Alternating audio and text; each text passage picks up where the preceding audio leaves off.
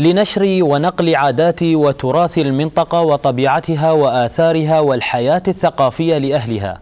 وجه صاحب السمو الشيخ الدكتور سلطان بن محمد القاسمي عضو المجلس الأعلى حاكم الشارقة بتأسيس قناة تلفزيونية جديدة خاصة بالمنطقة الوسطى في إمارة الشارقة لتحمل اسم الوسطى من الذيد لتكون على نفس مستوى قناة الشرقية من كلباء التي أعلنت عن إطلاقها الأحد مؤسسة الشارقة للإعلام.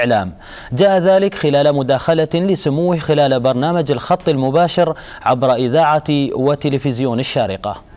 أنا بعمل هذه المداخلة حتى أبشر أصحاب المنطقة الوسطى بوجود قناة اسمها الوسطى من الزيد ما شاء الله. وهذه إن شاء الله قريبة ترى النور إن شاء الله. إن شاء الله. ولو أن إحنا انشغلنا بقناة كلبة فترة لأن قناة كلبة المعدات التي ستركب فيها تو... لا توجد في أي محطة أخرى. جديدة تماما. طبعا حديثة جدا. نعم صحيح. آه إلى درجة يعني أن الصفاء اللي فيها لا يوجد في التلفزيونات الموجودة.